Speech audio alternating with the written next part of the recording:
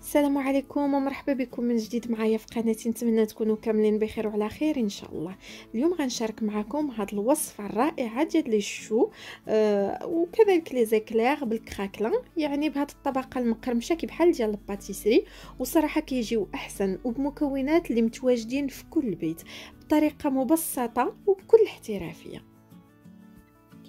وأول حاجة كنبدأو بها هي la crème pâtissière فانا وجدتها ليله قبل باش نخفف عليا شوية د الخدمة ونربح شوية د الوقت. donc غادي نحتاجو كاس ونص شوية وافي ديال الحليب ما يعادل 4 لتر يعني 250 مليلتر عندي ثلاثة ديال صفر البيض جوج المعالق كبار عامره ديال السكر ما يعادل 50 غرام.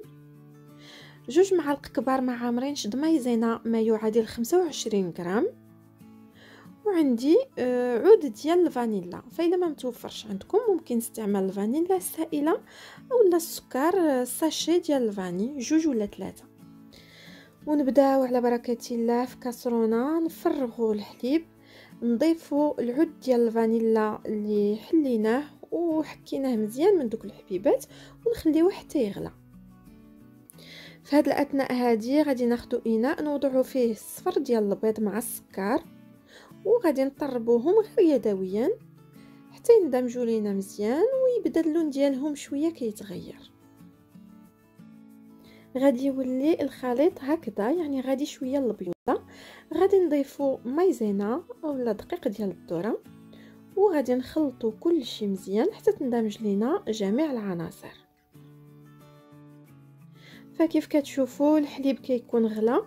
غادي ندوزو نضيفوه مباشره وتدريجيا باش ما يطيبش لينا داك البيض مع التحراك كيف مبين دابا في الفيديو.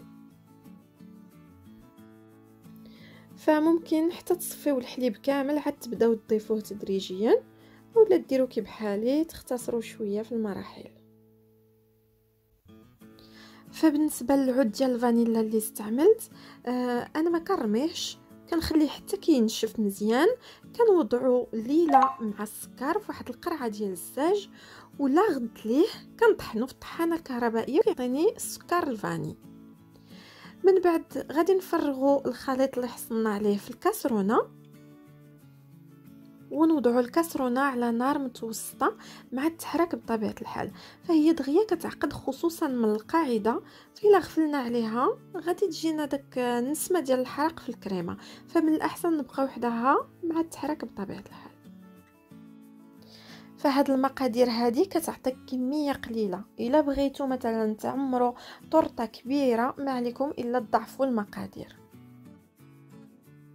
فهاد الوصفة هذه ناجحة أنا متأكدة إلا جربتوها غادي تولي معتمده عندكم ما غاديش تبقاو تستغناو عليها نهائيا سواء في الطرطات أو في لي شو خصوصا أنها كتجي عاقدة يعني ما نحتاجوش نديروا ليها لا أو لا نديروا ليها الجيلاتين. ف آه، ملي كنقطعوا الطرطة اولا كنقطعوا مثلا آه، ليكلير كتبقى واقفة عاقدة. وهنا الكريمة ديالنا بدات كتعقد. الا بانوا لكم الحبيبات راه ما كيبقاوش نهائيا كونوا هانيين. غير كملوا في التحرك بطبيعة الحال حتى تغلى لكم الكريمة يعني دير لكم فقاعات. وهنا غادي نحبسوا وبطبيعة الحال كنحصلوا على واحد الكريمة اللي كتكون رطبة وملسة. غادي نفرغوا الكريمة ديالنا في شي إناء. وغادي نغطيوها آه، من الفوق بالسلوفان اولا بشي صاك بلاستيكي كيف مبين دابا في الفيديو. وغادي نخليوها حتى تبرد عاد ندخلوها للثلاجه كيف سبق لي وقلت لكم أنا حضرتها ليلة قبل دونك خليتها ليلة كاملة في الثلاجة. ودابا غادي ندوزو باش نكملو الوصفة. ودابا غادي ندوزو باش نوجدو الكراكلان اولا ديك الطبقة اللي مقرمشة. غادي نحتاجو 25 غرام ديال الزبدة بدرجة حرارة المطبخ. ما يعادل معلقة كبيرة.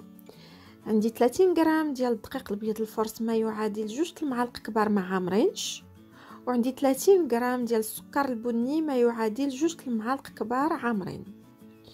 في إناء أو زلافة غادي نفرغوا الدقيق مع السكر والزبدة. وغادي نخلطوهم مزيان غير بأطراف الأصابع حتى كتجمع لينا مزيان وكتشكل لينا واحد الكرة ديال العجينة. فهاد المرحلة هذه ماشي ضرورية يعني ممكن الاستغناء عليها. ممكن تعوضوها مثلا بالكلاصاج سواء بالفوندون أو لا بلا غاناش وشوكولا لا لا غاناش وكراميل ولا غير الشوكولات فكيبقى لكم الاختيار.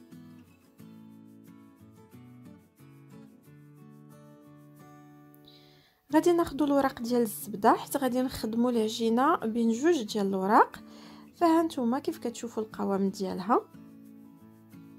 وغادي نطلقوا العجينة بالمدلك كيف مبين دابا في الفيديو. والسمك ديالها يكون رقيق. وهانتوما هذا هو السمك. كيف مبين دابا في الفيديو. وغادي نحتفظوا به في المجمد الوقت اللي غادي نخدموا فيه لاباطاشو بالنسبة la pâte à choux الناجحة غادي نحتاجو كاس ما عامرش ديال الدقيق ما يعادل 70 غرام نص كاس وافي ديال الماء ما يعادل 100 مليلتر عندي جوج بيضات كاملين تقريبا جوج المعالق كبار ديال الزبدة ما يعادل 50 غرام عندي جوج المعالق صغار ديال السكر وقبصة ديال الملحة.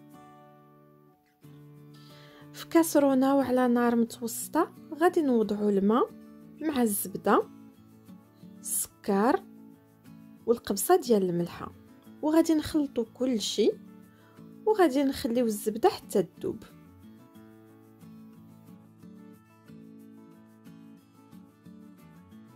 منين كتذوب الزبدة وكيبداو يبانوا داك الفقاعات في الخليط كنحركوا كلشي مزيان كنقصوا من البوطة كنردوا عافيه مهيلة وكنفرغوا الدقيق دقة واحدة مع التحرك بطبيعة الحال وبمعالقه ديال الخشب.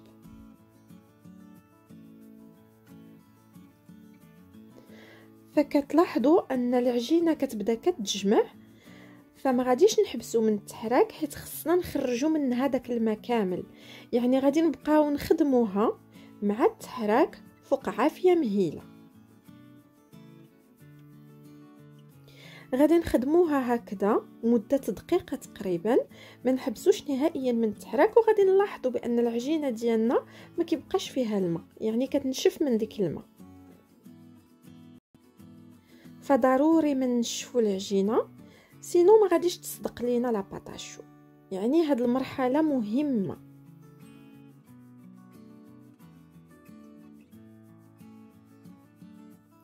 صافي هنا كنلاحظ بأن العجينة نشفات غادي نطفي على البوطة وغادي ندوزو باش نضيفو البيض وحدة بوحدة. غادي نضيفو البيضة الأولى كاملة وغادي نخلطوها مزيان حتى تندمج لينا مع الخليط ديالنا.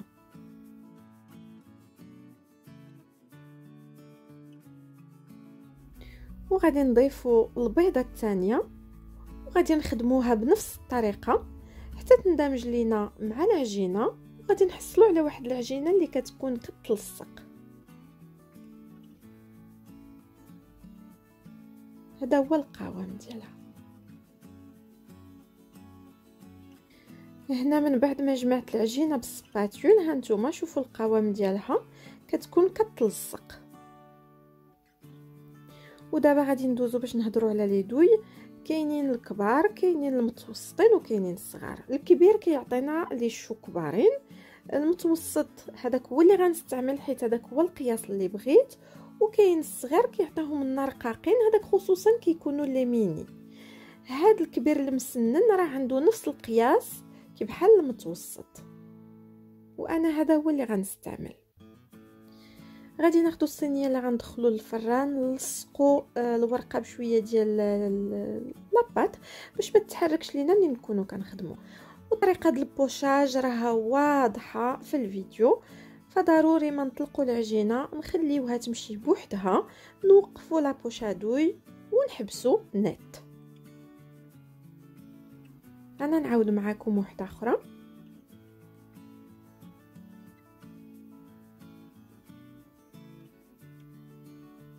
فالقياس ديال لي زيكلير معروف هو 12 سنتيمتر غادي نكملو هكذا حتى ننتهيو من الكمية اولا العدد اللي حنا حاجتنا به. وهنا غادي ندوز باش نوريكم بالنسبة للشو فاستعملت la plaque ديال ال macaron. هذا ال pochage الأول. هانتوما كيف مبين. وهذا ال pochage الثاني اللي كيعجبني أنا كيجيني ساهل وكيجيوني كاملين نخرجوا ال craquelin ديالنا من ال congélateur. هانتوما كيف كتلاحظوا كيتحيد بكل سهولة داكشي باش خصنا نخدموه بين جوج الوراق. ناخدو شي مرشم أولا هكذا آه البوق باش يجينا الشكل نفسه تقريبا. donc غادي نديرو هكذا وغادي ندوزو مباشرة باش نحطوهم فوق les choux وفوق les éclairs. غادي نضغطو عليهم آه légèrement يعني ضغطة خفيفة كيف مبين دابا في الفيديو.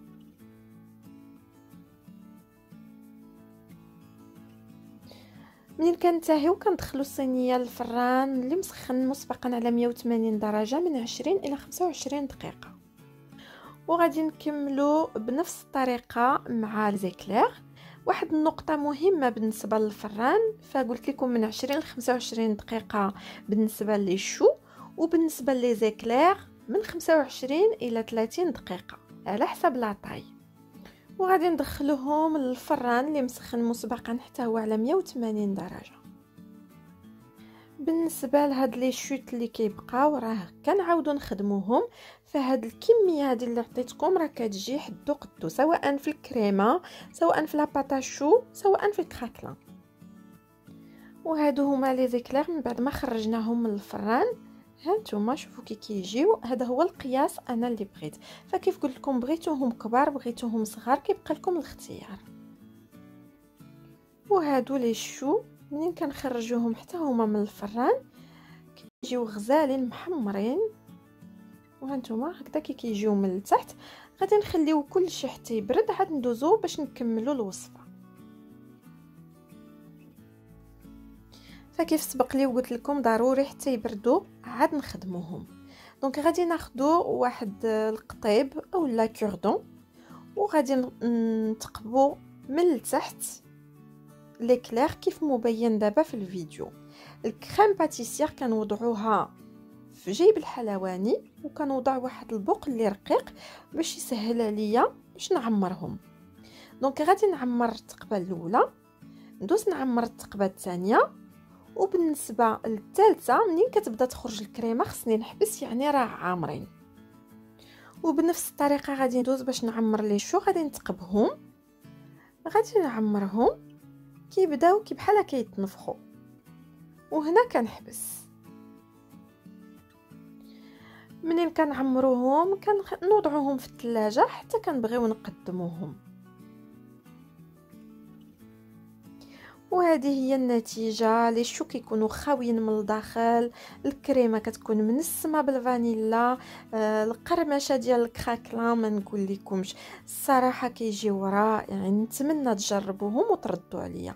وكان هذا هو الفيديو ديال اليوم. نتمنى يكون عجبكم ونكون خفيفة على قلوبكم. نخليكم مع بعض الصور ونقول لكم إلى الملتقى.